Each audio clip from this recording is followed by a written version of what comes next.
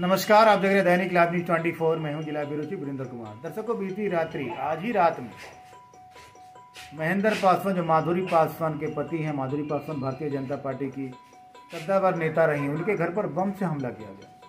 क्यों किया गया? क्या लूट हुई, नहीं हुई? आखिर अपराधियों की मंशा क्या थी? ये सारी बात हम महेंद्र पासवान से जुड़कर बताना चाहेंगे आपको। क्या क्या हुआ था, सर? अरे, बारह बज के दस में ये गेट का लोहे का ताला ही तोड़ दिया ये ताला अच्छा अच्छा तोड़ दिया फिर ये गेट तोड़ा फिर अंदर गया। हाँ। अंदर गया बोला अरे निकल निकल कहाँ माल पानी निकाल? अरे माल पानी आजकल कोई रखता है घर में सब तो रहता बैंक में। उसके बाद मार मार मार मार। लोहा का रखे हुआ था। लेकिन मारा नहीं पीछे से एक दूसरा जो आया वो बम मार दिया। घर में? घर में। हम तो बि- में बाहर से ही मारा उनको वहाँ से बरंडा से। मार दिया तो हमसे क्या तो खत्म हो गया सारा खत्म। लेकिन देखिए बच रहे हैं। तब तक अभी होश करेंगे खड़ा होंगे कि क्या होंगे बैठो बैठो उठो। तब दूसरा बम मार। कहाँ? ये हाथ में मार दिया ये हाथ में फ्रैक्चर। अच्छा।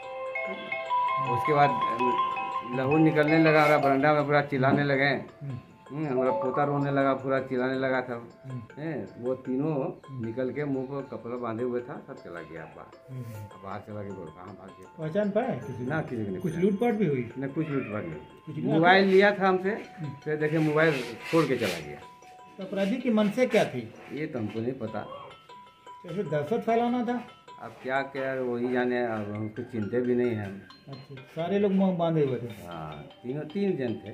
अच्छा पुलिस को सूचना दी आपने? हाँ पुलिस को सूचना दी पुलिस आए थे डीएसपी साहब आए थे सब सब लोग आए थे। थाना पर हाँ फ़र्स्ट एड हमको कराया में फिर जम्मू भेजे। अच्छा। जम्मू में स्टिच हुआ हम्म। और एक्सरे हुआ है उसके बाद हम मैंने किसी प्रकार कोई लूटपाट नहीं। लूटपाट नहीं हुआ। कौन कौन थे घर में उस समय? हम थे हमारे बहुत से बच्चे थे। पोता पोती ये रात में बमबाजी हुई दर्शकों एक महेंद्र पासवान, जो माधुरी पासवान भारतीय जनता पार्टी के नेतृत्व उनके घर पर रात में ही बमबाजी हुई, महेंद्र पासवान घायल है बेहतर इलाज के लिए उनको जमुई रेफर किया गया। है जैसे ही थाना अध्यक्ष को सूचना मिली, बम का धुआँ ही उड़ रहा था, और थाना अध्यक्ष चंद मिनटों में घटनास्थल पर पहुंचकर जायजा लेने में जुटे थे। ये घर है, ये देखिए, ताला टूटा हुआ, ताला यहाँ गिरा हुआ दर्शकों। और ये मेन गेट है, उनकी बहू भी अभी कुछ बोलने पौल पाने की स्थिति में नहीं है। जैसा कि ये बता रही है, ये गेट वाला गेट तोड़कर उस रूम में घुसा था चोर। देखिए, ये भी देखिए, यहाँ टूटा हुआ है।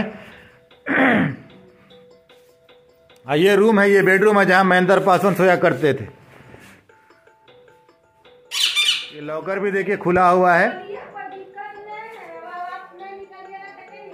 बम का बुरादा दर्शक, यहाँ बेड पर पड़ा हुआ है, यहाँ कंबल पर देखिए, आप साफ़ देख सकते हैं।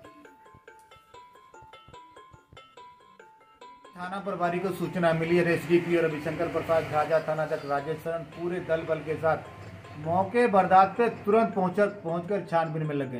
हालाँकि राजेश शरण ने अभी बोला कि अभी हम मीडिया में बयान नहीं दे पाएँगे। बहुत ही अंदरूनी जाँच है। इस जाँच को पूरी करते हुए हम अंतिम कड़ी तक पहुँचने का प्रयास करेंगे। संभवतः झाझा इस इस कॉलोनी के संभवतः ये पहली घटना है और पुलिस पूरी तरह से टीम बनाकर जाँच में लगी हुई है। देखना यह होगा कि कैसे अपराधी के गिरेबान तक प्रशासन का हाथ पहुँच पाता है।